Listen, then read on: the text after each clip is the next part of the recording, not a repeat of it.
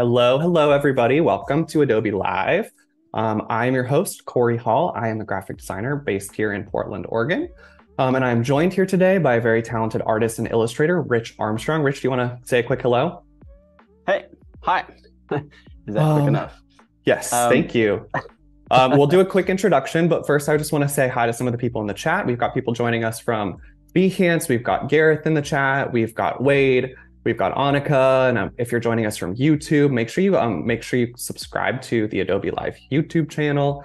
Um, let's see, we've got Kevin in the chat, we've got Kyler, uh, Jerry. Thank you guys so much for joining us. Um, so let's get into it. Rich, do you want to tell us a little bit about yourself? Do you want to walk us through who you are, um, your work as an illustrator, and maybe share some of your work? Yeah, for sure. So I'm in Amsterdam today or tonight, and it's really good to you know see you guys, hang out with you guys today. You know, some of you might be like super late in the night, really early in the morning. So yeah, thanks for joining me and Cory.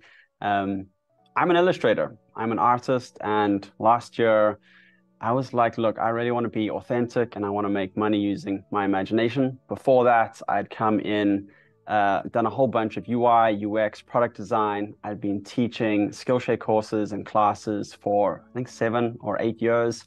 And I was just like, look, I want to, you know, go back to being a kid version of myself. So I began drawing and doodling at the beginning of last year. I, you know, just joined the NFT scene. I was like, what is going on here? I want to learn a bunch of stuff. And through that, I've produced a ton of art in the last year and a half. So I'm going to take you through some of that. This was my portfolio here on TapTapKaboom, which is a very fun name for me. A lot of people just know me as Tap Tap, which is kind of weird because Twitter, you know, truncates tap tap Kaboom into just tap tap. Hmm. and yeah, so this is my, my name here. So let me take you through some of my work, some of my portfolio. This, a mural. Guys, if you've never done a mural, I love it. I haven't done many, but this is like sweat, paint, dirt, sunburn, six hours in the sun painting, and it's big and people pass it. One of my favorite things wow. that I've done. This kind of stuff is all part of this thing that I call the Doodleverse. These are happy suns. These are dream heads. These are butts with flaming heart warriors. Um, I have these like two quite distinct styles. Like this is like this doodly style. This is an abstract style, but I kind of see them both as doodling. One is far more abstract and intuitive. The other one is far more intentional, but they still, you know, both very doodly. So yeah, I'll just scroll through a couple of these things. And yeah, I've done a ton of collabs. I think I did maybe 30 to 50 collabs last year with different projects, different brands, different artists. Wow. Um, I've done generative collections, one of one collections, just tons of stuff on all kinds of different blockchains. And yeah, I absolutely love this kind of um, lifestyle, this kind of creativity. It just it just awakens me. It makes me come alive. Done some really nice collabs with uh, Mimi Chow. Um, this one at the top here was done with uh, Attitude Creative. And I think today that's kind of what I'd like to go into. I'm going to be exploring uh, AI and Firefly inside of Photoshop today, maybe bring some of the, the work into Adobe Fresco and trying to just figure out how to do AI, but using my style. Because there's AI and I can almost spot AI from a mile away 95% of the time. Yep. I don't want my stuff to look like that. I want my stuff to look like my stuff. I want to learn how to use AI in my workflow. So I'm not quite sure how to like do something this doodle verse style, but maybe something like this, I could kind of, you know, swing it or work that into and with AI somehow. So I've been experimenting a little bit. Um, if you want to check out my Behance, I always used to call it Behance, but there's a couple of projects here that uh, you can check out. And this is probably something that I'm going to be trying out today. Something a little bit like this, but maybe a little bit more doodle bomb E, if that's like a kind of expression. Um, and then you may also know me from my Skillshare classes. I've got about 40,000 students on Skillshare, and I wrote a book. And wow. you may know of the thing called the 100 Day Project. So I'm not just an artist, I also teach people. I love helping people create and be productive and find their true selves, that kind of stuff. So if you want to go check out a book, it's really fun. It's called the Perfect 100 Day Project. And yeah, that is pretty much it. I also am a father of a two and a half year old kid. I have a wife. We live in Amsterdam. And yeah, just come back from holiday. So life is good. How's life that? Sounds intro? great. Wow. Well, and can I just say, your work is amazing. I mean, it's like so multifaceted and so layered, and uh, like there's so much texture and color and movement in it. And we've got a couple people in the chat who are saying, "Love your work." Um, Pam Hilling says, "Love your style, dude." Um, I think someone called out something that I really focused on that you said, which is um, clever in the chat said the kid version of yourself. And I super connect to that. And I just think that that's really cool that that's sort of an idea that you've tapped into for yourself. And I, I just want to say that that comes through in your work. It's, it's like, I, I kind of love that as a concept. So just like really excited to see what we've come up with today. Yeah. Awesome. Well, if you guys have any questions, I don't mind talking for ages, but I'm going to start, you know, drawing doing some AI stuff in Photoshop. So if you haven't checked this out, check this out. I'm using Adobe Photoshop Beta, and I think somewhere in the Adobe Cloud or the Adobe CC app, you can go and check it out. Um, I can't remember exactly where now, but this over here, this Photoshop Beta over here, is what I'm using. And with this, you can do some pretty cool stuff. So, just as yes. an example, Oh. I'm going to go and select everything inside of my Photoshop document. And I'm going to press this little generative fill here. And just as an example, I'm not going to like, you know, actually go through with this, but I can be like whale on a beach and press enter or return, press generate there. And man, I don't have to use stock photos anymore. I don't have to like sketch out a bunch of ideas. Photoshop just gives me a bunch of stuff a bunch of options. And it's like, whoa, okay, that's pretty interesting. Mm-hmm. Next, whoa, you know, that's pretty interesting. Next, you should be like, whoa, this is just crazy. And yeah. here, you can be like, okay, let's just select this area here. And perhaps I can be like, uh, mermaid. And what it does, it doesn't just like collage stuff in there, just take a random mermaid stock photo and put it in there it kind of looks at your whole picture, your whole composition, oh. and puts something in there. Sometimes it's not that good. Like that does not look like a mermaid to me, right? Looks like someone in a wetsuit. Oh, wow. Like that's pretty interesting. That's oh also pretty interesting. So maybe it's like not so good at this. But what's cool is you can just like tap that and like, okay, let's let's do this again. So how about we go and kind of draw something here and we go for a ship. Exactly ship. what I was going to say. Not a mermaid, a ship. Let's be safe here. Um, if you don't understand anything I say, uh, I come from South Africa and we speak English. I speak English in South Africa. I speak English now that I'm living uh, in the Netherlands. But sometimes I say things and it, it doesn't translate into other English or international kind of cultures and societies. So that ship looks pretty good, right? Yeah, it does. That one even better.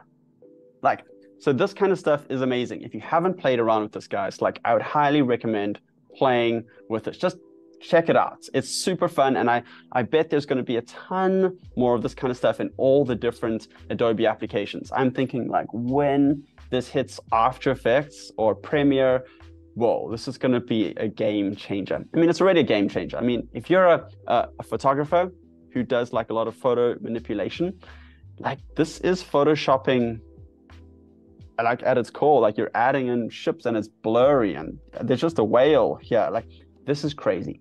Yeah, so, it kind of takes Photoshop to the next level. We've got someone in the chat, Johan, I think I'm saying that correctly, who's suggesting we put a mermaid on top of the ship. Um, I don't know how open you are to that. Look, uh, this is not my final piece, so let's try it. Let's see. Let's see what happens.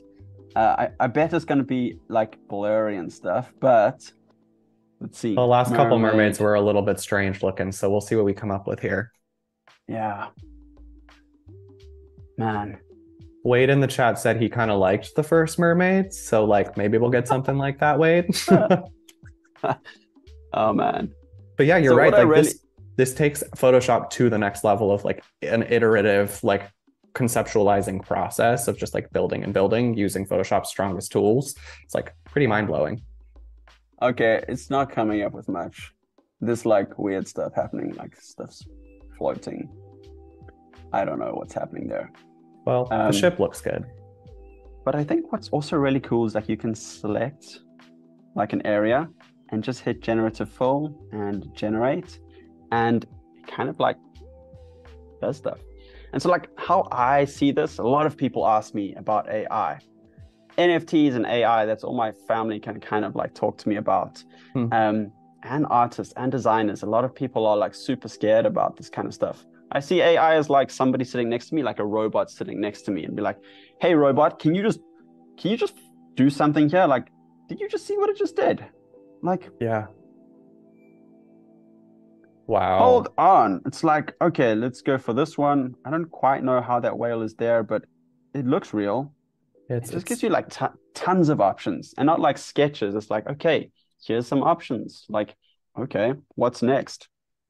Well, yeah, and you're right too, in terms of like the way that you think about AI as a tool, right? It's almost like you've got this intern or you've got this research assistant or you've got this person who's doing stock photography searching for you, but it's doing it in real time alongside you. Looking at it as a collaborator is a really cool, I think, like productive way of thinking about it. Oh, there's a shark. I Oh. mean, even in the, the coding world, like I think GitHub has a, a code assist or a code complete bot. And so you're like coding and the, the code assist, I think it's called Copilot. And I really like that name. It just suggests a bunch of code for you. And you're like, yeah, I'll take that. So it's like having somebody there writing the code with you. They're not taking control and writing your whole app or whatever. They're just doing stuff at super, you know, human speed or super computer speed. Like Yeah. this kind of stuff is just ridiculous. So yeah, maybe we would go for a shark like that. And sometimes it doesn't look quite real, but that's okay. Like I'm me, I'm not after realistic kind of stuff. So I'm just gonna nuke all of this and start again. And what I'm gonna try is a Vogue-like photo, um, a model photo, so we can do some doodle bombing on top of it. If you've Mhm. done any kind of AI stuff, you'll know that what you write into these prompts is super, super important. And I'm still no genius at this. Even when describing my own work, I'm like, ah, doodly kind of colorful stuff with birds and suns. And it's it doesn't ever give me anything like that. So it's a skill. You got to know how to write a prompt. So I'm just going to write something like Vogue model black and white. And this kind of uh, experimentation that I'm doing is part of a series that I'm calling like man and machine. Mhm. Like, how can I work with technology and create something with me to, you know, create something really cool? So it's given me some options. I prefer female models. Um, so I'm going to try that again and I'm going to go for portrait. So let's just put that there. Yeah, So kind of what you were saying. We've got someone in the chat saying Penny Doodles says, I'm thinking of AI as a tool that still needs an operator. And that's like what you were saying about you kind of have to play around with it, get to know it. You're still the driving force and you're just kind of guiding it in the right direction. So that's sort of what we're watching here. Yeah, Uh, exactly. Jack Watson in the chat. Hey, Jack, we just did a live stream two weeks ago. Good to see you here.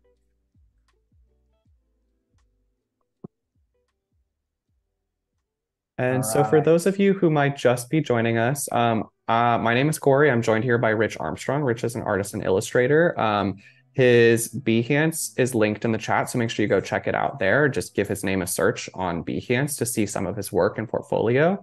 Um, but right now, we're using generative AI in Photoshop Beta to kind of suss out a concept and start building on a piece that he is going to work on today in this live stream. All right. So this I think is looking a lot better than my previous options. So sometimes you might be like, whoa, what's happening with your lips there, lady? That's okay. This one looks really good. This one also looks pretty good. I don't quite know what's happening with the hand here. So I'm going to use this one. It looks really, really cool. And I'm going to work with a little bit of flowers. Um, try work with some flowers here. So I got the lasso tool and I don't want that lasso tool. This lasso tool I had the marquee tool. So I've just installed a new version of Photoshop. It keeps on telling me these tools, and I'm like, I already know how to use these tools. okay, so what's cool about this is that it recognizes what's already on your canvas, already in the document. So let's go for crown of roses, not or, of hmm. roses. I'm excited to see what this does. And I'm curious, I mean, in your experience, do you find it it probably makes sense to do what you're doing of just highlighting the top? If you were to highlight the whole thing and did Crown of Roses, it, it might give you a totally different thing than what you're looking Yeah. for. Sometimes it then like removes the whole head or gives you a new head or face. And you're like, oh, but I quite like that one. So that's where the like you're the guide, the, you're the operator for the AI. That's where it comes in as sort of a, your learning process of figuring out like how best to use the technology. Yeah. That looks pretty great. Man, that looks really good, right? Yeah, my, my mind's kind of blown. Okay, so let's carry on here. Um, parts of this are looking a bit bland now. You're like, okay, there's just a lot of skin right here. So, what happens if? It's one of my favorite sayings. Designers would be like, "What if?" But I'm like, "What happens if?" And my wife always gets a little bit irritated. She's like, "You always say that." I'm like, Yeah. "Yeah, you know, what happens if?" You know, let's Mhm. see. So, what about a dress or uh, dress of flowers? Flower dress? Flower dress. Let's give it a go. I guess this is kind of weird because I'm getting better at English while I'm designing and, and illustrating. And yeah, for me, this is far more iterative and designery and illustratory, creative than just writing prompts. Because you're going, just fix this image, fix this image. And what I found is that we're really good at editing stuff. Like as a designer, Cory, I, I think you probably do this. You send your client something and it's not the finished thing. You know that it's rough and you just find out what they like, what they don't like. You know, do they want this bigger? Do they want this changed? What are you going to get back from the client? And this for me is the same kind of process. You're like, okay, I've done this. Now I just want to tweak this. I want to tweak this. Oh, now I have this idea. I want to tweak this. Whereas when you're writing that first prompt, you don't quite know exactly what you want. So I really like this process. So this this feels really good to me. This feels more dress-like, which is great, but this feels really creative. So I'm going to go for this one. Um, and now I'm going to start working a little bit of mark making, a little bit of doodling, doodle bombing into this image. Um, and I've got some brushes here. One of my favorite brush companies is True Grit Texture Supply. It's quite a mouthful. And I still haven't explored all of the stuff that they offer. I downloaded their mega pack and I'm like, yes, this looks good. But after three brushes, I'm like, cool, these are my three brushes. I'm done. That's good. So I'm gonna, you know, keep on experimenting with a couple of these brushes uh, during the process, and I'm gonna use the color palette that I I always use, and I'm gonna try find it in my library. There we go. You can pop yourself up over here. Uh-huh. I want to make this bigger. Or I'll just bring it out here. That's fine too. How about that? All right, so this is quite like a big color palette for me. Most people like, Rich, use all the colors in the world. But for me, it's just, it's really colorful. They're normally bright colors, and I change them from time to time. And I'm beach balling, and I haven't saved, which is not a good prospect. Um, so I've never been in this situation before where I'm live and I'm beach balling in Photoshop. So we can talk about exploration and experimentation. So I'm ADHD. Maybe you picked that up. Oh, there we go. We're back. Um, I'm going to go for this, this pink color, peach color, salmon color. I don't know what color it is. And I've created a, a new layer just so that I can remove it, hide it, show it. Um, and I'm just going to do some doodle bombing. And I'm pretty sure no matter who you are, you've done this at some point in your life. At the doctor's waiting room, uh, while you're sitting at the table waiting for breakfast or dinner, there's newspaper or magazine, you've scratched the eyes out, you just started doodling on stuff. This is, if it's not like your like main style, this is super therapeutic. It's cathartic. It helps you think. It helps you, you know, your brain go into that subconscious mode. If you don't knit, this is what you could do as a creative, as an illustrator. So I'm just gonna, you know, start. And that is not the color that I want. I want this color. Yeah. Yeah. Um, so I was going to talk about experimentation and exploration. I I'm ADHD, so I'm always onto something new, something different. Shiny object syndrome. I'm busy with like generative art. I'm learning how to code smart contracts. Uh, in the NFT world, I've got a couple of different series coming out. I'm applying to grants. I have all of these things that I want to do. Learning 3D is still up there somewhere, you know? And like, how do I fit all of this into what I'm doing with clients and projects and classes and writing books and stuff? Is that I have these kind of projects that I have, like a man and machine. And I'm like, what do I want to do? I set myself an objective. Maybe I create 10, 20, 30 pieces, and I just start creating around that specific topic with a, a particular set of parameters. So my parameters here are Photoshop, AI, and doodling, something of my style in there. And then I just kind of go and I see where that takes me. And piece after piece, I then change what I'm doing based on what I've already done. And I'm like, oh, I have a question here. What if this happens? What if I try this?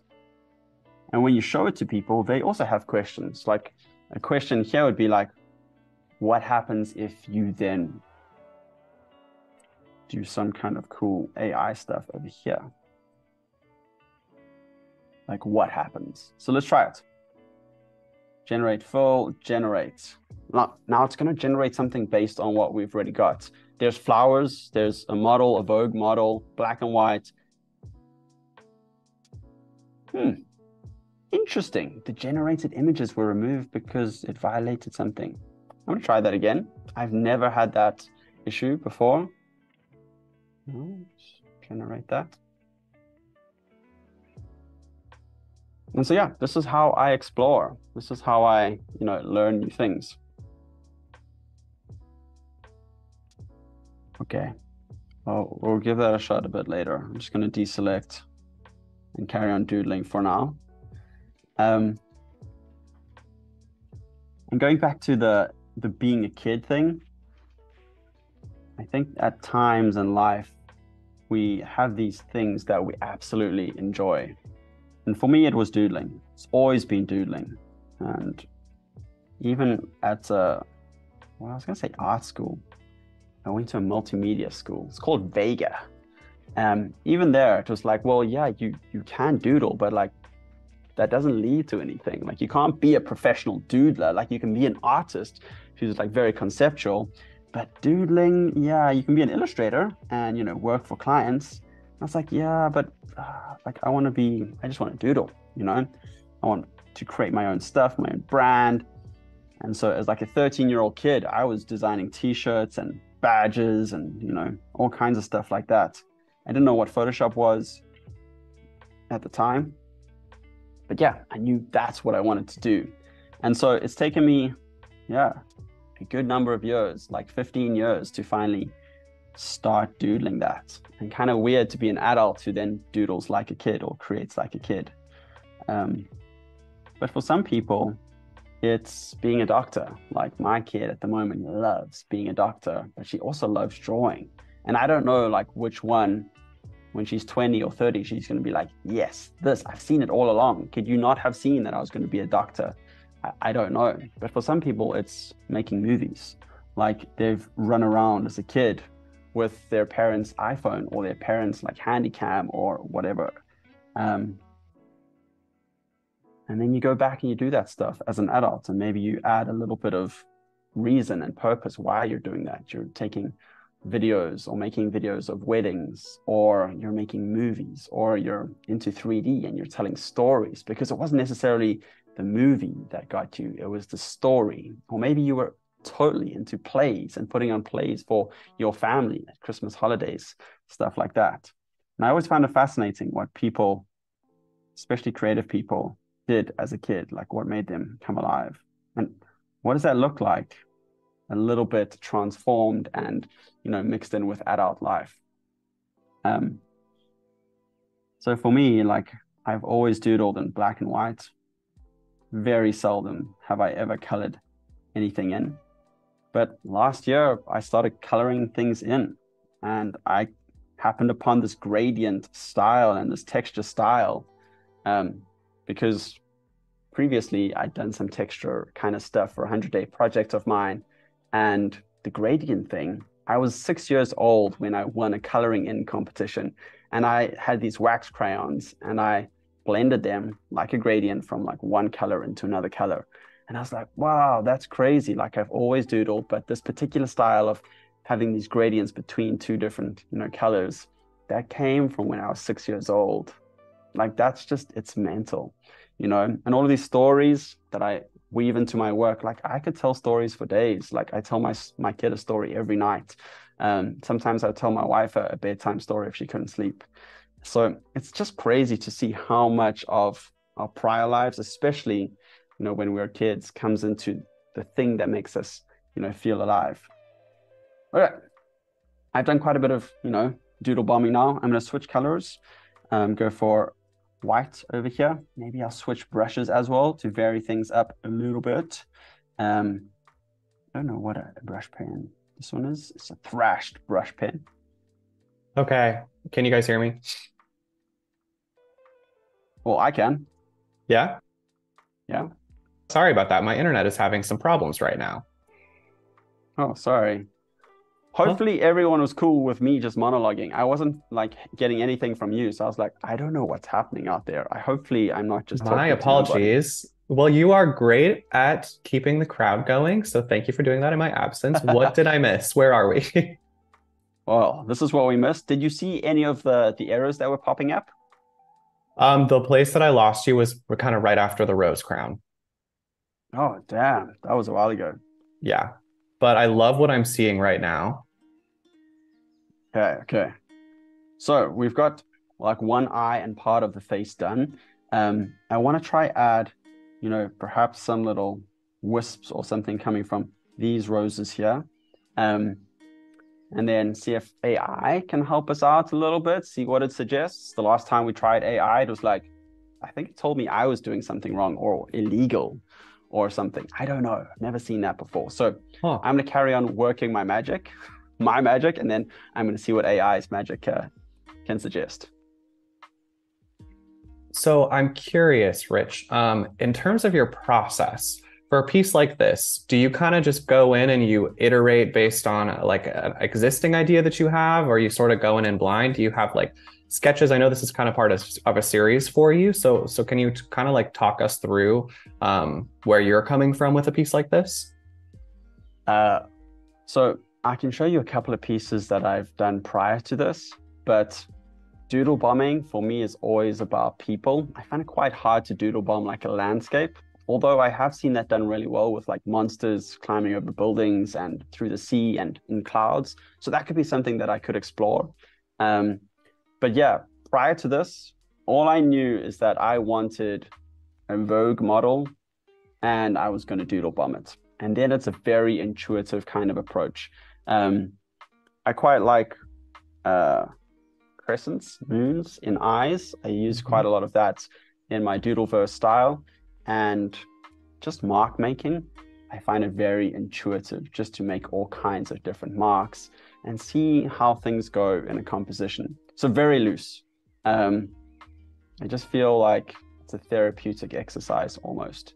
And yeah because, i mean go for it i was going to say because it's an experimentation like it's not a client project i'm not necessarily going to sell this uh, as an nft i might i don't feel pressured into making it like super perfect so if if at this stage I was like, nah, that's not working for me, I'd you know quite happily start again. Um, sometimes I even set a timer to be like half an hour or an hour. I'm just going to play around, and whatever happens, happens. So there's no expectations. There's nothing, uh, you know, on the other side that I'm really wanting to get to, in this piece anyway. Um, yeah, that, that kind of taps into what you said at the beginning too, of wanting to tap into that childlike energy of just sort of sketching, right? Um, so for people who are joining us or who have joined us recently or since my little offline moment, um, you know, I think something that people in the chat and something that I really resonated with um, that Rich was talking about in the beginning was like a lot of his work, he finds tapping into that childlike energy to be uh, I mean, that's kind of a goal of yours, right? You said within the last like year or so, which I think is like really cool. And I think that I personally have benefited from. I'd be curious to know if in the chat, if anyone else kind of tries to capture some of this childlike energy or curiosity with their work, and if they find it helpful for them as they're, like, you know, working on a design project or an art project. Um, we'd love to hear from you in the chat. Yeah, and yeah, please let me know. Like this kind of voice this kind of reason why I create, I didn't initially like identify with it. And only through creating for, I did a 100 day project where I created an NFT every single day. I minted it. There was that pressure to create something every day. And I did it. Like, and I kept on creating. But about halfway through, like things really started to gain momentum. And there was this one guy, we are on a space together. We we're all about to reach a thousand Twitter followers, which for some people might be like, that that's nothing. I've got like 100000 followers. Um, but yeah it was like 100000 i mean 100000 it was a thousand followers in this very like niche space uh, on this blockchain called avalanche.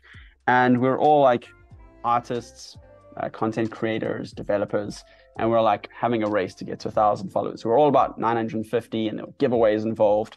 And the guy was like you know what rich like i like your stuff but it it's not like the best and I was like, okay, okay, I'll let you carry on talking, you know, mm-hmm. please.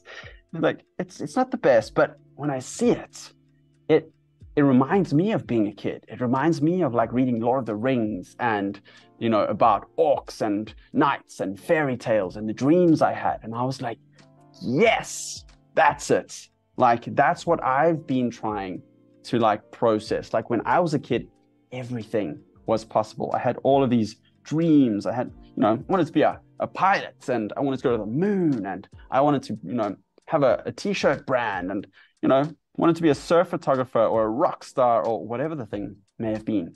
But mm-hmm. as we get into being an adult, it's like, oh no, I'm quite okay with my job, nine to five, got my house, got to pay my mortgage, got to take my kids to school. It just kind of fizzles out, you know? Yep. So yeah, definitely wanted to tap into that.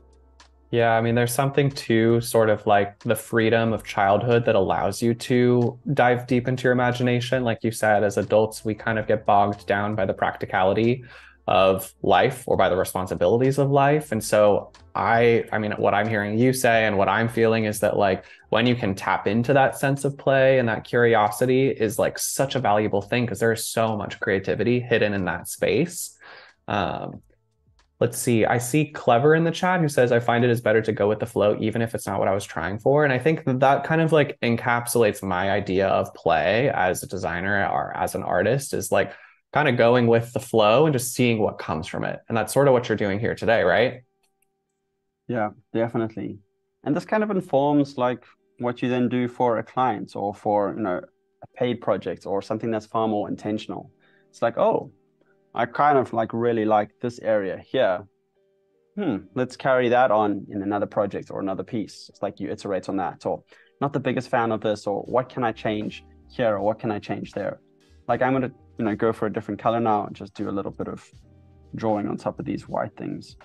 Um, but definitely, it's like that, you know, just playful. It's inquisitiveness. There's no real yeah. outcome that you're hoping for, and I do this intuitively and I struggle to like kind of put words to it. But when I see my kid doing this, like she would build a tower of blocks and then bash it down and then build a tower again and bash it down. I'm like, as a as an adult, I'm like, what are you doing? Like you're bashing the tower down. Can't you just build it and you know keep it up there? But like I realized like she doesn't really care about the outcome. She cares about the act of building. I mean, that's like, what they say, right? It's all about the oh. journey. Exactly. And there's it's something like, beautiful in that like iterative process, right? Like maybe she does it a little bit differently each time or learns something new each time. Yeah. It's like she's getting becoming an expert at building blocks. Like she doesn't care about the box, the blocks being built. She just cares about building. Yeah. Know? And it's the same when she draws now. Like just scrunches up paper and she tears paper out. And I'm like, oh, that's beautiful. I want to frame it. And she's like, chuck it over there. Another, give me another one. Here's glue. Oh, it's purple glue. Let's just go all over the show. And I'm like, mm, that's glue. like you need to stick something with glue. And I'm like, but hold on, like, is she like figuring out that glue might actually really like way better than wax crayon that she has because it must be super smooth with glue, right? Yeah. It's like, oh wow, that is purple glue. So it actually looked like wax crayon. It's like, wow, I should try that, you know? Yeah. So yeah, just watching her and other kids just create and explore, it's fascinating. It makes me, Yeah. you know, want to encourage that and you know, try it out a lot more.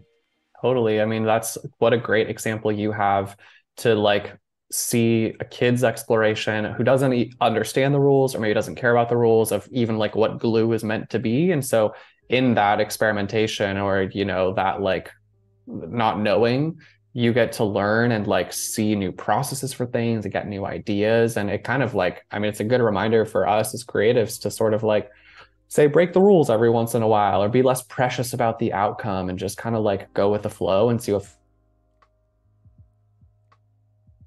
feels good and you're going to come up i not have otherwise Yeah, exactly. Like this process now, I'm like looking at this eyebrow, I'm like, yeah, could be a little bit better. But at the same time, it's like, well, let's see what happens with it. And I'm pretty curious to know what the AI will do at some stage. So I'm gonna finish this eyebrow and then see kind of what it will give us. yeah so something i'm curious about so we're talking about playing right and just sort of like experimenting and iterating through like a process of curiosity. But um, you talked a little bit in the beginning about doing some collaborations. You showed us some collab projects in your behance profile. Um, what do you find it's like to like bring that sense of play to a partnership with another with another creative? Like what does that look like for you? Oh wow. It's yeah, it's oh wow, that's also interesting. Huh. So that, that's like that's pretty cool. Like look how it's done the same kind of thing with that eye and kind of feels a little bit like Asian there. Mm. I don't know which one I enjoy the most. So that's like a really interesting detail like around here. So what's pretty cool about this is that I'm just gonna cut this part or maybe a little bit of this part too. And I'm going to just duplicate that and turn this one off. So something like that. Begins to look a little bit collagey. So Mhm. maybe I will just going to decrease the saturation a little bit. Cool. And what's cool about this is that when you do the generative AI, it creates a new layer and it looks like it even creates a new layer mask um, that you Yeah. can like edit around. So it's not like fundamentally changing everything you've done before. It's just adding something new and editable on top of it. That's really cool. Yeah. So I don't usually use the smudge tool. I think this is the smudge tool. Let's see what happens here. This is pretty, uh, you know, where Adobe Fresco might come in just to help with these kind of things. It's got some really cool water brush uh, tools. Oh, but I must save this actually. So let me save this quickly. Don't forget to save your files, Um, everybody. It's important. Yeah, exactly. Creative Cloud files, like I'm things always change. Creative Cloud files, do I save it here? Normally there's a oh, there we go. Save to cloud documents. There we go. I'm just gonna go for model save. Um and this eye is looking really interesting. I'm gonna create a new layer and work off of that. And I'll change this to multiply, and then I can put a bit of color into these like beads or this I don't know what it made a bee. Um, but yeah, so mm, there's nothing happening. Oh, because I'm smudging. Yeah, I don't want to smudge. Um, so when I create with other people, like at times it's really difficult because it's like, yeah, you didn't do what I wanted. And I Mhm. think when that happens, it's perhaps your your interests and your styles and what you do are too similar. It's like somebody said to me, "Why are you collaborating with this person?" or "Why are you collaborating with me?"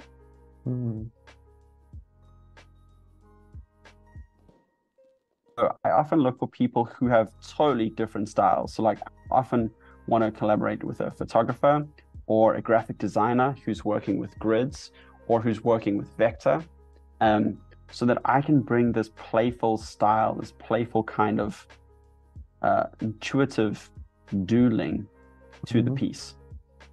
Um, I love working with something that's already there. So if they have a style uh, and they bring the first like iteration, I'll be like, yes, now I can work with this. I will put in a bunch of elements. Um, I'll pick out some of the things that are existing or already there in their piece, and I'll play around with that. And sometimes send it back. Um, perhaps I can show this one over here. Like this process, what started first was the grid. So I took a grid that they had already designed and I put in photos and then I kind of filled in each of the little squares or segments. Sometimes mm-hmm. I went out the lines, I experimented a little bit more. So if that grid wasn't there, I don't know if I could necessarily do that intuitive drawing and make it look like that because I'm using what they've given me as a reference, as a starting point. Yeah, um, totally. Well, and that's that kind of goes in tandem with you know talking about being experimental and playing with things you you might not have created that if not for this like fully different creator who came in and collaborated with and like forced you to think outside of the box a little bit. So you know like collaborating with people who are too similar to you it might not give you that much of room for experimentation or what have you. But collaborating with someone who thinks completely different with than you is like a great sort of opportunity to try new things. Yeah. I mean, I would love, I don't know if you have ideas of who you'd like to collaborate with, but one, I would love to collaborate with fashion designers to be like, look, I want this this kind of doodling, this kind of doodling, and any kind of my like my doodling to be on clothing. Like, mm-hmm. yes, let's make that happen. And 3D, like I haven't learned 3D yet. I made a donut. I think everyone's made a donut, you know, the yep. spinning donut. Yep. Um, but I haven't really got beyond that. So I would love to work with someone who's just like, yes, I can do 3D stuff like in my sleep. And to be like, okay, let's bring this doodle verse, these doodles, this abstract play into that realm. Like, what does it look like to do this in like a 3D space or with VR goggles on it in a 3D environment? Oh, that would be pretty wild to see your artwork, like, and be able to interact with it in some kind of like AR or VR situation. That would be really cool. Yeah. But, well, and you showed us in the beginning a mural that you had worked on on your Behance. Have you done Have you done a lot of murals, or is that your first one? I've done two, or yeah, so one and a half really. Um, I've done one in Barcelona for this company called Ava Labs, who run the Avalanche blockchain uh, at their conference. It's quite cool. I did an illegal one. I, I got told where to paint. I just painted on a wall instead of a canvas. Um, so that was pretty cool. I did that. And then I was like, this this is life changing. Just to be hot and sweaty and painting in the sun is great, rather than just on, uh, you know, a piece of glass, which is kind of what I'm doing now and on an iPad. Um, but then I did a sticker design. I was like, hey, here's my portfolio. I want to, you know, paint your windows gallery. And they were like, great. Can you come in in two days time? Uh, we've got an exhibition coming up. So I was like, yeah, cool. And then they wanted stuff to be far more opaque than I think it would have turned out. So I ended up designing a sticker that went on their window. And I'm like, yes. And people were like driving past or cycling past, just like looking at it. Some kids were even like, wow, that's awesome. And I'm like, yes, that's it. You know, and it was for a coral reef uh, project. Uh, so part of their gallery is the sunglass, sunglasses, sunshades you know, not the reading glasses. Mm-hmm. And they part of their you know profits go towards cleaning up plastic from this island in Malaysia. And I was like, yeah, that's awesome. So they're all about coral reefs and the island life and sustainability. So I got to design a coral reef, like all with vectors. I did it in Adobe Fresco, uh, exported it to Photoshop or Illustrator, no, to Illustrator, and then sent it off to the printer, which normally for me, clients and printers are not good combinations, but I did it and it's on a window and we stuck it and it looks awesome. That sounds um, so cool. We've got someone in the chat, Thomas, um, put a design of his uh, in eight parts on a zippered hoodie, and it came out really, really well. Uh, it looks like through an on-demand printing service. Um, that could be like something kind of cool. I mean, I personally know as in my practice as a graphic designer is I like taking things out of the computer. It's kind of what you're talking about, taking things out of the computer, out of this like 1D or 2D space and putting it somewhere. And I love the idea of just like, even on your own, like making it a project for yourself, of putting it onto an article of clothing or just like put, bringing it out into the world. Um, I think that that's really cool. Yeah. Um, the last time I was on uh, Adobe Live, I featured uh, an artist called Leonic and she's got a clothing brand called Leonic on clothing, and her stuff is just phenomenal. And she did a, an H and M uh, collaboration, and oh, cool. yeah, it's like wow, it just looks it looks awesome when it feels like fashion people make up like your ideas and they collaborate with you, and it's not just like in the middle or you know printing on top. It's like a swimming costume. Uh, it's like kids' pajamas, and it's all kinds of different pieces of clothing for all kinds of different people, like shirts, hats, uh, yep. swimming costumes, bags, totes, all that kind of stuff. And it just looks so good as a collection. Plus, mm-hmm. like all the window displays. I'm like, that is cool. So I hope to get there. Um, and sometimes, I guess, as artists or designers, we look at other artists and we're like, wow, that's awesome. I'm super jealous. Or how do I get there? And I got to keep reminding myself, like, I've only been an artist, like calling myself an artist for a year and a half. Yeah. Like, this is my body of work for a year and a half. Sure, I've been doodling my whole life. Mm-hmm. I've always been creating and stuff, but actually, I've just been an artist for a year and a half. So it's which like, is wild. Wow. What you've accomplished in a year and a half is like really amazing. So, yeah. like, you're kind of just starting out yeah exactly and it feels good i gotta remind myself like i'm an underdog sure i'm 35 years old sure i have a kid and, and a house and stuff like that and it feels very like adult like but i'm still an underdog and i remember when I, I was 21 it felt really good to be 21 just out of university and being better than other people um, doing code stuff and man i was doing flash kind of stuff i don't even know if you guys remember flash um, oh yeah, that that got like retired off the internet. I feel like. yeah, exactly. I was like, oh, I know Flash, and then two years later, I was like, uh, yeah, you, yeah, I, I, know Flash, but nobody else cares about that. So, and um, um, you know what's coming to mind actually? So, um, are you do you, are you familiar with um, the design firm? I guess that's what we could call them. Um, MM Paris. No, I'm not. So they are a really cool. They're a design firm based in Paris, France. Um, it's I think that the way that they spell it out is just M slash M Paris. Um, they I would absolutely check them out if I were you because they do a lot of sort of like sketching types of design work. They do a lot of really cool logo work, a lot of really cool typography work, but it's all kind of based in sketching and like iterative sketching processes. They have gone on record saying that they use Photoshop and their Photoshop files are ginormous with hundreds of layers in them. But what I think, what and why I'm thinking about them for you is that they do a ton of work with a lot of big fashion houses in Paris. Um, so they've worked with like Loewe, they've worked with JW Anderson, and a lot of their like sort of sketched out work ends up in purses and ends up in t-shirts and ends up in like formal wear, ends up in dresses. So I think you should check them out. I think you'd really like them. Please send me a link or something somehow. Or maybe I yeah. can just do it now. I'll do it now. Yeah, if you want to pull yeah. it up, uh, it's just what MM Paris. If you MM Google that, that should come up. And then, yeah, they've got maybe go to their website and you'll see their their website is quite conceptual as I'm seeing now. Maybe if you just go to like Google Images, you'll find some of their kind of more popular work. Um, but they have a lot of big kind of like sketchy installations that are in like Paris Fashion Week. Um, let's see. Yeah, I mean, if you click on like one of those, a like, lot of like, yeah, this kind of stuff. Uh huh. Like hand drawn elements, like layered over different photography that they'll commission. Um, it's pretty cool stuff. And there's a couple of like really beautiful art books that they've put out with like volumes and volumes of their work.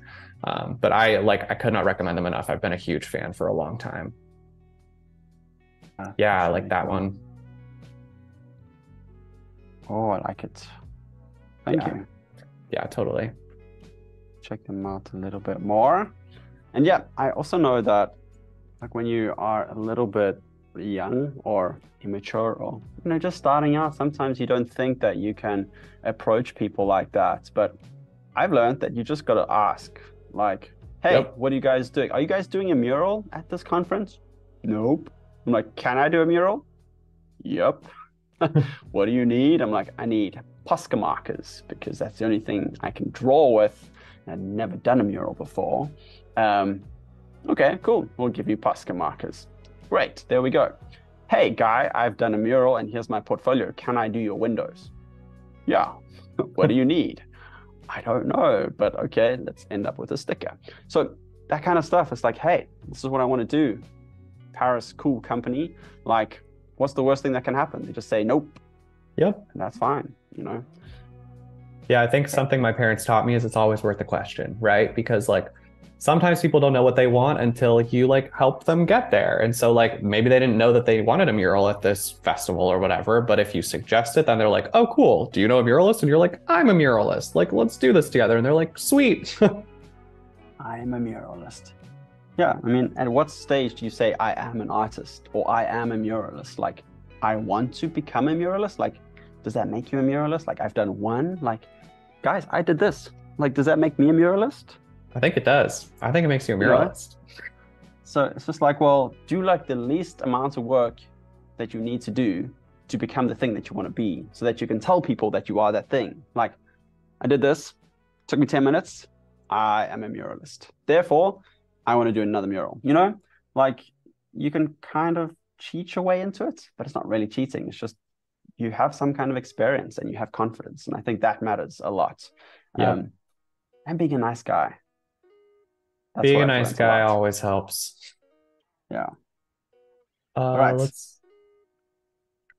Okay. Thomas in the chat says trends come and go, but fashion relentlessly goes after beauty for the sake of beauty. And I think, I mean, that's totally why I find myself gravitating towards fashion too. And I think that's why we see a lot of this, like, a lot of avant-garde art and design coming out of the fashion industry because you're right like they do really push it sounds like that's kind of why you're drawn to fashion too rich is because they they kind of push the boundaries and there's like a very artistic conceptual thinking behind like clothing and wearable items and that's why we see so many cool collaborations going through like an H&M or JW Anderson or uh, brands like that Yeah, I also think like as a digital illustrator or artist, like it's cool. My stuff's on the blockchain. It's going to be there forever. But people are like, "Oh, that's cool. That's a really nice piece of art."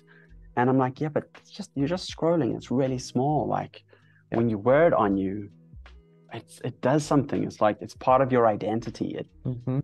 transfers something to other people as you walk into a room, as you walk down the streets. Like, you know, there's that kind of stuff that it's really exciting. Um, Yeah. Maybe that's why I'm drawn to real life stuff. I love, I love digital. Like it's quick, it's easy. I can do it on my couch. But yeah, the, the real life stuff becomes amazing. Yeah, I mean, you're right. We spend so much time on our devices. So when we can bring something into the tangible world, into the 3D world that we can interact with and put on our bodies, that kind of takes it to the whole next level. And it also kind of changes your approach too, right? Is it's like, I mean, I'm sure we've probably got people in the chat who can relate to this. I'm sure you can relate to this, but like you can create something on the computer and then you print it out or you put it onto a t-shirt or you put it onto a wall and you're like, whoa, that actually kind of changes this, changes the way that it looks and you need to like think about things in a different way. Definitely. I mean, when I started doing these NFTs, like, and then people said, cool, can I print this? Can you send me the high res file? I'm like, it's, it's like this big, you know? And I'm like, oh, didn't think about that. Like, you want to print this? You want to print it really big? Ah, so some of my stuff later on was like A3 size, and it took me a long time to do compared to something that's like just under A4 size. Yeah. So if you are print or if you're creating something that will, oh, that second one was kind of interesting. Um, I don't know what's going on, but it's very like, I don't know, looks almost like an, a cartoon or something. Feels like Mickey Mouse's hand with an eye or something. It does, doesn't it? It's really like strange. Um, I was gonna I'm- say like I'm just gonna ditch this, but maybe let's go for it. And I'll show you guys something else that I do. I like to do is that you know this is happening, and every time I ask the AI to put something in, it's gonna be like, oh, I see what's happening in your composition. Let me try add to it or work with you. Sometimes I'm like, no, just just be the collage artist. I just need a stock photo. So I was gonna press Command T to open up another one, but that wouldn't work. So let's create a new one. And here I can be like, give me birds, give me a flock of flying pigeons. That's how you spell pigeons. Sorry, you're going to say? Um, I was going to ask, you know, in terms of your process for creating something for 3D, right?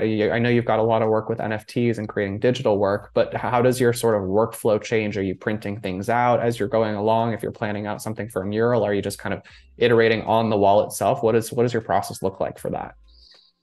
Um, the, the that mural that I showed you in the beginning, uh, this one up here. Uh, I think there's a little bit of the planning. So this is like what it looks like. Um, Cool. some of the process, like this is my first little sketch in my my journal or sketchbook. Um, and then from there it was just like, cool, let's let's go for it. So there's the kind of process for this one. Nice. And luckily for this, there wasn't really much back and forth with the, the client. It was like, do what you want. The the theme is like springtime and new life. So I did like doodleverse, graffiti kind of style with that theme in mind. Um, and then the the fish one, I'll just try to think about how I might show you that. I don't think it's going to be super easy, but that was a a sketch in, in fresco, and then took that to the client, and then a couple of changes, and then did something in fresco, and then took out half of it based on some feedback, and that was it. Um, and then had to make things a bit smaller so that the printer could print it in time. So yeah, really flexible uh, working with both of these murals or you know real life pieces. But I, I think the early me, like maybe 21, 22 year old me, working with clients and printers would not have been a, a good fit for this because I was like, this is my design. Came from like this multimedia design kind of background. I know what is going on. I know how to run a business. I came top of my class. Like I know everything. And so when a client said to me, "Can I have my logo bigger or can we change this?" I was like, "No, no, no, absolutely not. Like I'm the designer." Whereas now I'm like, it doesn't matter too much. Like who cares if like the fish is over here or the fish is over there? Yeah. Um, so I leave things quite open-ended, quite flexible. And the more flexibility a client can give me, the better I feel. Like if I can just paint freely like this on somebody's window, fantastic. Or on a wall, fantastic. But if they need a little bit more planning, then again, like I see it as a challenge. And, and I'm flexible. I'm like, okay, like cool, you don't want a sun, you don't want a submarine. What do you want? Okay, you want a, a snorkeler or a diver. Let's put that in. Um, okay, so I'm gonna see if I can incorporate these birds. You'll see it's quite different from what I'm working with uh, over there. So I'm just gonna go copy all. I hope that works. No. Let's try again. Well, that's cool. So you selected the whole, um, I want to call it an art art board, but I guess the whole canvas, and um, you put in the pigeon prompt, and then the generative AI just kind of brought in what looks pretty much like a stock image, which is really cool. Yeah. And what's always deterred me from doing these kind of things before is, oh, what who who owns the stock image? Where do I find this? I have to spend so long, you know, trying to find stock images and even with music, things like that. Whereas now I'm like, this doesn't have any rights or anything, I don't think. Um, I don't need to worry about copying people, um, Yeah. especially because I'm reworking it, you know. So I'm just like boosting up the contrast here and then I'll apply some blend modes, which may look pretty cool. Um, and so I feel a lot freer to just play and, you know, maybe to mint this as an NFT or send it or license it or something like that, not worrying that somebody somewhere down the line is gonna be like, hey, I'm going to sue you because you used my image.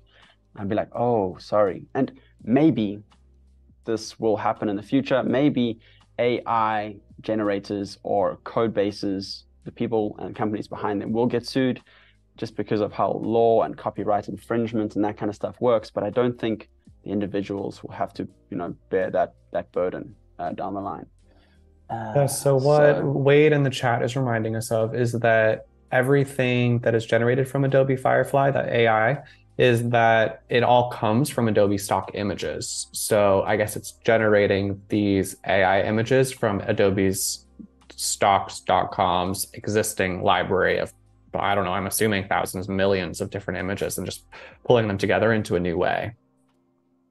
Nice. And um, so, Wade's also reminding Adobe Firefly is for non-commercial use only while in beta. So it, it is a service and product right now that is um, in beta. So I think that the images that are generated from it come with a little watermark, or that you're not that we you don't necessarily own the rights to, and that you can't like bring out to a client and like automatically own, um, be free from any copyright laws. So I'm sure there's there's some like details and fine print there.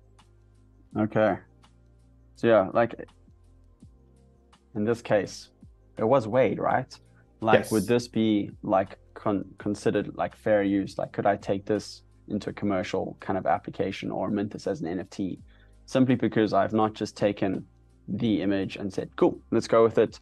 The AI did this, but I've worked with the AI and created something that, you know, I don't think many people would say, oh, yeah, this is definitely an AI piece. I think a lot of people might assume that there's stock images. Maybe I took my own photos and it definitely feels like a TapTapKaboom, Rich Armstrong, you know, kind of a piece. Yeah, I mean, I think my understanding of copyright in general is that because you've taken bits and pieces of it and created something entirely new and different and individual from what was existing before, the copyright law doesn't pertain. I don't I don't know the details of it, don't hold me to that, but I do think that like this is like these pigeons that you pulled in are now like part of your overall image that you own just based on like copyright infringement law. Like you don't even have to copyright something for you to own it. It's it's yours as soon as you've created it. Um, so I I think that's like about how it works. That's my understanding. Cool. Always, yeah. It would be great if there was a lawyer in here as well. Maybe there is. I don't know. if there's a lawyer um, in the chat, please say hi. yeah. I would love. I think there was there was one guy. I can't remember his name. Mike. Mike somebody. He's a graphic designer, quite big beard and he has a lawyer friend and they do talks together. Um, okay, so now I'm really happy with this, but I still feel there's elements missing. So what I'd like to do is open it up in Adobe Fresco. So I'm going to jump to my iPad. Dirt, dirt, dirt, and let's see if it's actually there. I might just move my, my Wacom and bring my iPad in here and change pens and pencils and all kinds of stuff. And Screen so sharing. while we do a quick little transition, I just like to tell anyone who's listening, either if you're joining us from the YouTube live stream, if you're joining us from the Behance live stream, make sure you hit um, subscribe on the YouTube channel. You can also follow Adobe Live on Instagram to see updates of when these live streams happen. We've got many live streams happening with many different creatives all over the world every single day of the week. Um, also, if you yourself are interested in streaming, doing an Adobe Live live stream, or if you'd like to nominate a friend or a fellow designer, um, you could do that um, in a tab on the Behance channel. So if you go to behance.net slash live, um, if you're watching over on YouTube, you can head over to that link and nominate yourself or a fellow designer for uh, a live stream opportunity. So we'd love to have you. And now it looks yeah, like we've guys, moved over to Fresco. Is that right? Wait, or is that right, Rich? Yeah, we're in Adobe Fresco on the iPad. So again, if you're like, whoa, what happened? How did you just get it onto Fresco? Like Photoshop and Fresco play really well together. Um, one of the big things I love about this is that you can move between Fresco and Photoshop really easily. I love using Photoshop for some stuff, love using Fresco for other things. Um, and so what I'm going to do here is merge everything. Uh, merge. And this is also a really nice thing when you're playing, like a kid doesn't care. So just merge stuff. You don't have to keep everything as layers. And we can save this as something else in the future. or it's just, you know, part of the play, part of the exploration. But one of the big things I like about this is these brushes here, these oil brushes, and they take on some of the properties from the paint beneath them. So I'm gonna go for a flat or oil round. And again, let's go for Doodleverse colors. So thank you, Wade, for dropping into the chat that nomination form. So if anyone's interested in nominating themselves or a fellow designer or artist for Adobe Live, um, just go ahead and fill out the Airtable form that Wade dropped into the chat. Um, it's in the YouTube live stream and the Behance live stream. So just fill that out, and we'd love to we'd love to have new people on these live streams. And yeah, guys, if you're like, oh, I can't be on a live stream, I don't know enough, like seriously, just do it. Just Like- do it. just do it. Yep. Like sometimes you'll be super nervous, sometimes you'll be sweating because you're super anxious, but next time it won't be so bad. And some people will learn from you. Some people will be inspired by you, and you can then say, "Hey, I was on uh, Adobe Live." So, Yeah. guys, check this out. This is a live brush, oil paint, and it's got this paint mix. So as I paint, it picks up from the paint beneath it, which is super cool. Mhm. So I just did a couple of like test brushes and things like that. And it feels like oil paint as well, or it looks like oil paint as well. So you get this like mixed media kind of effect when you start working with this. And you yeah, can see that's like cool. the paint changes color as if Yeah. you're painting with real paint. It like Like- comes on really thick and full of color at the front stroke, and then oh, that's really cool. So you went over the black there, so it even pulled some of the black from the bird in with the paint. So it's truly like you're painting on like a wet piece of canvas. Yeah. Like, and you may see some of these shapes uh, in my other pieces. And I guess there are some things that I, I can't shift out of. I have to like really mentally say, I'm not going to use these circular shapes or whatever. Um, but sometimes it's just this free form kind of play. And it's like, well, I'm using the shapes that I'm comfortable with. But the, the process that we've been to get here, we've done AI stuff. I've used some new brushes. I don't usually work a lot in Photoshop. Like I've had this Wacom tablet. This is a massive Cintiq. It's not the big one, but it's a mm-hmm. pretty big one. I've had it for two years, but I use my iPad way more just because it's got so many more apps and I can sit on the couch and take it home. So it's been like a, a process of learning how to use it, learning how to use Photoshop, but then bringing it into Fresco really easily. Man, it's it's powerful. Well, especially but- when some of those like concepts of layers and this, the tools kind of cross over, that's when you can really like feel the whole ecosystem come together. And that's when you, as a creative, like you get to know those tools really well, and then the possibilities are endless. Yeah, it's it's honestly sometimes I- sit down, I live stream on YouTube. Uh, I try to do it every Tuesday, but I haven't been super consistent. But sometimes I sit down, I'm like, what we're doing right now is we're streaming. Like I don't actually know how this is working, and there's hundreds or thousands of people watching, and I'm drawing on glass, and it's being transmitted like throughout the world. The fact that I'm drawing on glass, and then I'm able to like send it to my computer, which is also like glass and silicon and I don't know what else is in there. And then like it's it's crazy and how this is mimicking paint. And then I mint it on a blockchain. And guys, this is a crazy world that we live in. And now we're introducing AI into our workflow. I don't know why people get super upset about the technology and how this is going to change everything. It's like, are we not like changing everything enough already? Like Photoshop, Fresco, iPad, this little pencil. Like I'm wearing this glove that makes it easier for me to move around on my iPad. Like all of this. Like imagine being Picasso or Dali back in the day.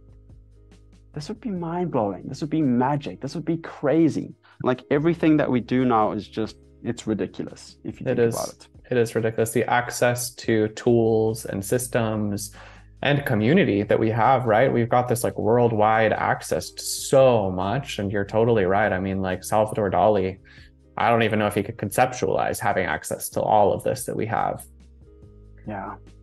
Uh, we've got. Christopher in the chat. Very cool image. Really like all the details. So if you guys are just joining us, um, I am here with Rich Armstrong, who is a super talented artist and illustrator. um, based in the Netherlands. And um, we are using generative AI from Photoshop Beta, um, which is sort of how he pulled together this image. And now we're working in um, Adobe Fresco to kind of sketch on top of this um, image. It's sort of a composite of a bunch of different AI generated elements. The rose crown was generated using um, the beta AI. The birds were generated. We've got this little um, I don't know, those little like dots on the model's forehead, even the model itself, herself, were all from this generative AI tool that's in Photoshop Beta. So it's really pretty mind blowing stuff. And now what I'm doing is I'm using a water brush tool. And this also like it, it's live painting, but it makes everything feel quite watery. And I'm just working all on the same layer just because it's super powerful to work on the same layer in Fresco you just see this kind of like in real time. Wow. Yeah, it's like you're pouring water onto a painting. Ah, it's, it's yeah, it's it's beautiful. Yeah. And then I have a bunch of like favorite brushes that I can just quickly switch to if I wanted to. Um, maybe we go for this, this one. Maybe a little bit smaller. So thank you, Wade, for dropping in Rich's um, Behance profile in there. Um, Rich, do you have an Instagram that you want people to go check out too? Uh, it's probably TapTapKaboom on Instagram. Is that right? That that's it. Um, I I don't know about Instagram at the moment. I'm on Twitter way more than Instagram. Um, I find it quite disheartening when you have like 6,000 followers or 4,000 followers and only 100 people see your post. It's like, what's oh. the point of having this flipping follower thing? Why are people here following me, but they never see my stuff? So I think there might be a, a trend towards going self publishing in the world at the moment among creators, your own website, your own newsletter, trying out new social platforms. Like I just joined this thing called Bluesky. Um, oh it's an invite only thing. It's very much like Twitter, but Twitter is also broken. Um, so yeah, you can find me on Instagram. You can join my newsletter. Uh, just go to taptapkaboom.com. Find me on Twitter. Um, yeah, it's a it's a kind of like a weird weird place that I'm in right now. Yep, trying I totally to figure out that. where do I spend my time? Like, am I a content creator? Like, do I want to spend I don't know, like seven hours a day creating stuff for Instagram that gets lost in a second? Yeah. I don't know. Like I way prefer doing this kind of stuff. So you can follow me on Instagram. Just turn the little bell icon on if you definitely want to see my posts, or follow me on Twitter. Um, I post far more frequently there. Um, go for a little grungy Inca here.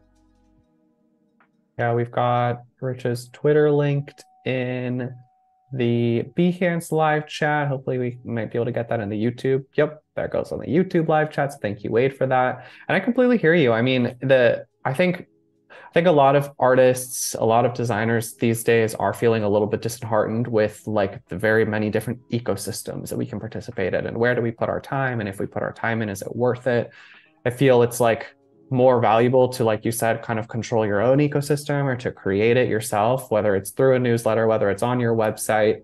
Um, but it, you know, it's there are so many places to put our stuff out there. And when we're working against algorithms, we're working against bots, we're working against policies that are always changing. Um, I, I completely relate to what you're saying of like, what is Instagram and should I even be putting my time there? So it's it's it's definitely kind of a conundrum, I think, for a lot of modern creatives these days. Yeah. And again, it's like a lot of people are like, well, if not Instagram, like how do I get my stuff out there? Like how do how do I like all right, yeah, you got to think, you got to be creative. Like don't just be creative with your images, your photography, your web skills. Be creative with how you market, how you get your brand out there, how you get your services out there. Yeah. Um, sometimes there's Discord communities, Reddit communities, Facebook groups, even um, sometimes if you're like, okay, I, I want to help people who are, you know, getting married do their wedding invites, like you don't spend the time on Instagram. You just go to wedding festivals or whatever they're called. Um, there are other ways to do things like that. Those are probably poor examples. Um, what I like doing is just walking around Amsterdam and be like, that's a cool place. Let me go chat to somebody. Cool. I want to do your window, or I want to, you know, create a, a shirt for you, or design something for your glasses. Cool. There we go. Let's do it. So yep. I just real person kind of stuff. That's my strength. Like I'm terrible at uh, Discord and Instagram and Twitter, like really like keeping up with people and following people. Great at one-on-one kind of stuff in person. Very friendly, very likable kind of a person. You know, if I do say so myself, like I'm nice around. I'm a nice guy, nice guy to be around. Um, You're a nice guy to hang out with. so yeah, so I, that's my strength. Like, let me go do that. If I was a brilliant copywriter, maybe I would write copy and put that on my website and send people long letters of why they should hire me. Maybe I don't know. So there's always yeah. ways to you know do stuff. Well, and I think that's why I'm also appreciative of this format here, right? Is like we're having a live conversation, we're connecting with the community. Um, I'd be curious to to your point for other creatives out there. If we've got people in the chat, if you have like creative ways outside of Instagram, outside of Twitter, how do you get your work out there? How do you connect with your community? Are you doing kind of what Rich is talking about of just going out, um, seeing a cool storefront that you might be interested in, asking to do a project with them in real time like that? Um, yeah, let's see. Penny in the chat says that's refreshing to know there is power to in-person interaction. Oh my gosh. I mean, I think like in-person interaction is so kind of underrated and maybe a little bit underappreciated in this world that is so hyper online these days. So I I'm curious. I mean, what do what are people doing out there in the world um, to get creative outside of just creative on the canvas, outside of creative within Photoshop? What are you doing to get your stuff out there? Um, I'd be curious because I personally I do similar things. I mean, I'm a graphic designer here in Portland, Oregon, um, and I have a full time job, so I'm sort of like stuck into that a lot of the time. But when it comes to the creative work that I do outside of my full time practice, I do a lot of freelance work, and so I am like meeting people. I'm meeting people at bars. I'm meeting people at restaurants. I'm meeting people at events, and then from there meeting these potential clients and then working with small businesses in the area. So I'm I'm totally doing what you're saying too of just like the sort of word of mouth, cool introductions, vibing with the right kind of people, and then like creating collaborative projects outside of that. Yeah. And the people that you meet with, like are they creative people or are they the people that are looking for whatever you're offering? Yeah. Um, I think a lot of the time we like hanging out with people who like us and who are like us, but they're not our clients, you know? So sometimes it can be a bit overwhelming spending time and surrounding yourself with creative people the whole time. Like, wow, this is inspirational and these guys are great, but they're not, you're not getting work, you're not getting your stuff out there. Yep. So sometimes just going to spend time with normal people is fantastic or going to places that are creative but mixed creative like creative mornings are really cool it's like you get to hang out with architects, you get to hang out with people who are building brands. Mm-hmm. Um, like I remember, I don't know if you guys have a, what is it called? I'm trying to think of like the right word. Feminine hygiene is the only one I can think of. Um, mm-hmm. But it's called Yoni, but this really cool Dutch brand um, of period products. Like they're amazing. They're at Creative Mornings. They're not creative people. They're going after like women uh, period uh, hygiene kind of like that market and they're mixing with creative people and you have these creative people who are like oh i want my stuff to work with you. I'm a very cool minimalistic brand designer. Let me work with you. And so you start to mix with these kind of people who are storytellers who are interesting brand people great at marketing great at storytelling and you start to mix in with those kind of people. Again all yeah. real life kind of stuff. Anyway for me that's really helpful. Um, and then follow up with emails, follow up on social media. Yeah. So perhaps social media is like a secondary kind of a, a thing. Yeah, I mean that's a great point. I mean, I think that like if you're an artist illustrator connecting with other artist illustrators, you know, there's obviously going to be room for creative discussion and collaboration there, but they're not necessarily the people that are going to hire you because they're providing the same services that you are. But creating with creative people or co- co- connecting with creative people who work at agencies or who have started their own companies or something like that um, i think that that's kind of where these true partnerships and collaborations there's a lot of room for growth and like experimentation there because you've got someone who thinks creatively but just in a different way. And then you can kind of like overlap in terms of your creative thinking and each providing some new different frameworks and new ideas for collaboration. They might hire you as a client. Um, that's some great advice Um, we've actually got so we've got a couple people in the chat. Joshua, happy Thursday. I'm enjoying this discussion. Thank you for joining us, Joshua. Um, and Wade is asking Cory or Rich, if you're not in a creative environment like a bar, um, any tips on how do you bring up your work casually without dominating the conversation? Um, Rich, do you have any? Do you have any like advice off the top of your head? One of the best things I've done. It depends on the, the situation. Is just bring out your iPad and draw. Honestly, people are like, "Oh, whoa, you're an artist! Whoa, whoa, whoa!" And you're like, "Yeah, you know." And almost like this, you just you're creating. You get to chat to people if they're really interested. You get to show them some of the your behinds. I can't say that word properly. Behance, behance, your behance. South African, this accent is like kind of weird. Um, it's always that little thing on the e that got me. Uh-huh. Um, I like what you said. Yeah, just behance, behance. Um, I can say enhance, behance. Anyway, um, but yeah, I just think that creating, doodling, whatever, like it's a really good way for me anyway to show people what I do. And if no one notices, like I still get to doodle and do what I like to do. Um, but also just asking people what they do. Like as a kid, like what did you do? Like how did you get yeah. to where you are now? Like what was your trajectory? And maybe they ask a little bit about you, but definitely being more interested in other people's journeys and their whatever they find creative or inspiring. Uh, I find that inspiring. So I always try help other people like go back to that kid version of themselves or find out like what makes them tick and yeah. inspiring for me and hopefully maybe they get to ask the same kind of questions and not just like what do you do but you know really start discussing uh, what your work is about like mm-hmm. what makes it interesting that kind of discussion is really interesting yeah it's almost less about discussing your actual work and more about discussing the ideas behind it, what motivates you as a person, what kind of drives you as a creative, um, what your intention behind your work is. That I think is where like the meat of a conversation about creative work is. And that's what interests people because that's something that they could hopefully relate to um, and that they can, you know, that keeps the conversation flowing in a great way. But I love the really practical piece of advice that you said of just sitting in a bar or restaurant, like doodling on your iPad. There are definitely going to be people who come up to you and are like, oh my God, what are you doing? Are you an illustrator? Are you an artist? And then that's like a great introduction for a conversation. It's, it feels more, especially with an iPad, it feels more, what's the word? Invite friendly. Like people yeah. feel way more, uh, again, what's the, I don't know what the word is. They they they're bold. They're like, oh, I see that you're drawing something cool. Can I see like what do you do? Are you a tattoo artist? Like what are you doing? Even other illustrators and designers, like I'm always like, oh, like what are you doing on that iPad? Like I just want to see how you use the app. Um, when someone's on a computer, it's like, oh, you're doing serious stuff. You know, you're typing emails or you're in a Word document or an Excel spreadsheet.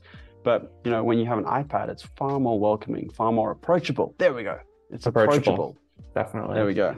So I want to call attention to the time. We are approaching the end of this live stream. And so um, just really quick, if you've joined us halfway through this session, uh, my name's Cory. I'm a graphic designer. I'm here joined by Rich.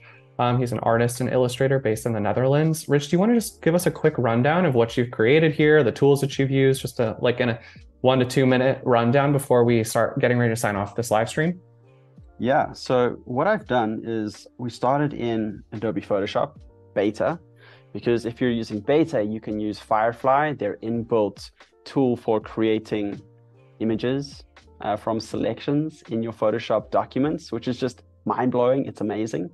And then I collaborated with this AI tool uh, by first creating a few images of Vogue models, black and white, portraits. Uh, all the words are really important. We added some flowers on her head, a crown of flowers. We added like a flower dress, which you can't really see now, but it kind of helped me set up this composition and work with the colors that I've been working with. We added something over here, which was kind of like a Mickey Mouse hand. Then I started doodle bombing, all in Photoshop. Then I brought it into Adobe Fresco on the iPad. So the original one was in, on desktop. This is on an iPad in Adobe Fresco, which just works really nicely. I've then worked with the oil brush, with watercolor brushes. I'm now working with vector brushes. It's like mixed media, but I don't have to wait for paint to dry. Just working with a very select color palette. And this is kind of where we've ended off. I'm just gonna fill the last few bits of these vector shapes.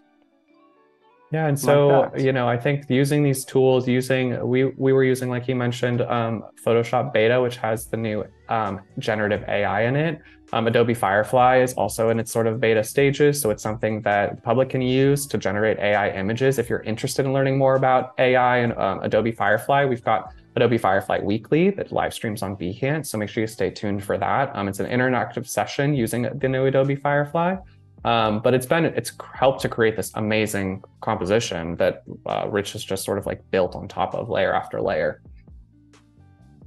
Yeah, and I think that's for me, like especially with this style, that layer after layer, it speaks quite conceptually to where we are as a creative species right now like everything that we do is layer on top of layer on top of layer. Like we're standing on top of the shoulders of giants who are standing on the the shoulders of other giants you know? Just keeps on going and going and going.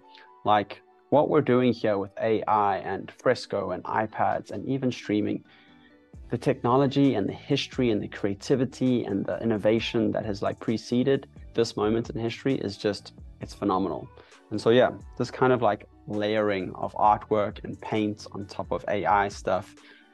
That's what it is. Like, just speaks to that. And I hope people kind of like get that when they see images like this. There's just so much there. Yeah, absolutely. Well, if you guys are joining us from the chat, thank you so much for spending this time with us. Um, I know I've had a really great time. I feel like I've learned a lot. We've had some really awesome conversations here with Rich. Um, so thank you all for joining us. Make sure you stay tuned. We're going to roll right into another live stream after this. Um, go and investigate Adobe a Firefly. There's so much with potential with this generative AI. Like Rich said, we're kind of in this pivotal moment of art and design with all these resources that we have. So um, I'd just like to thank everyone for being here. I've had a lot of fun. Rich, thank you so much for walking us through your process. Ah, it's a pleasure. Thank you so much for hosting. Guys, thank you so much for joining, for tuning in from around the world, all different time zones and you know times of day. You guys are amazing. And if you have any questions for me after this, just DM me, hit me up on email, Twitter, Instagram. I'm always available.